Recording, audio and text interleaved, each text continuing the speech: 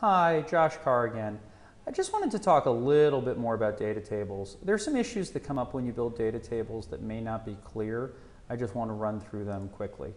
The first is, if you build a data table, it's calculationally intensive. If you build, say, 10 10 by 10 two variable data tables, you're actually running the model a thousand calculations every time you make a change. And that could be really crushing from a calculational point of view. So let's say you have a really complex model with lots of data tables. Your best friend is calculation options, where you can change the setting from automatic to automatic except for data tables. If you change it to automatic except for data tables, everything will update except for the data tables until you change the calculation method back or you save the file. This is really a lifesaver because if you have really big models, you're going to need to use this. Otherwise, you're just going to sit there waiting for it to recalc. And well, that's really an unpleasant way to spend a few minutes. That's the first thing to point out. The second thing to point out is currently the interest here is 5, 5.5, 6, 6.5, 7. And up here, the interest rate was 6. Sometimes people get creative and they say, you know, since this is 6, I could just link this up to the 6% here. But if you think about it, that doesn't really make sense because then you'd be replacing the 6% in E8 with the 6% in D29, but still having D29 linked to E8. Now normally if you did something like this, you'd have a circular reference. And normally if I pressed enter, that would generate an error. But in this case, what's really bizarro is that when I do that, it looks like it worked until you look at it a little closer and realize it's generating the same result for 5.5% as it is for 6%. In other words, it's broken.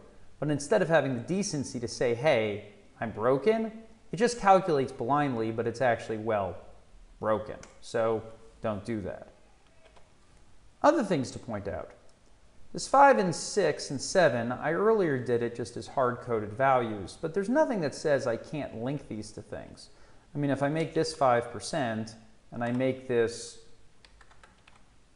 half of a percent, I could, of course, make this equal to that and make this equal to that plus that.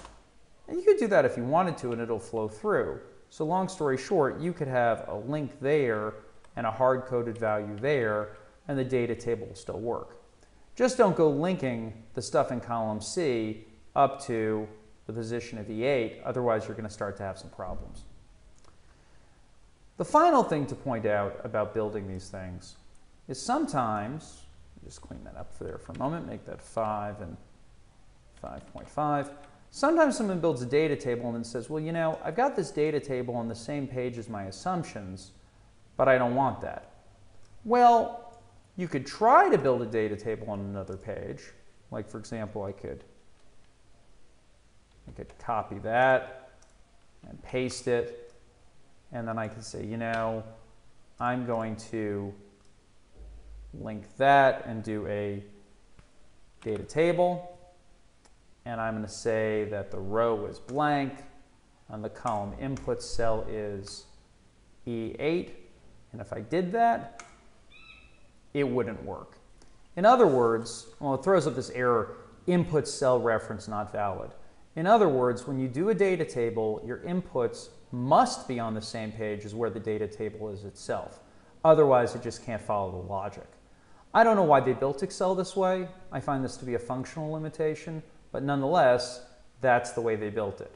If you really, really, really want to have the data table on the other page, build the data table on the same page as the assumptions, and then when you get to the second page, just link back to the first page. So that's just a simple link, which I could drag, copy, and there you go. These, of course, are not doing any calculations. They're simply just linking to the previous page.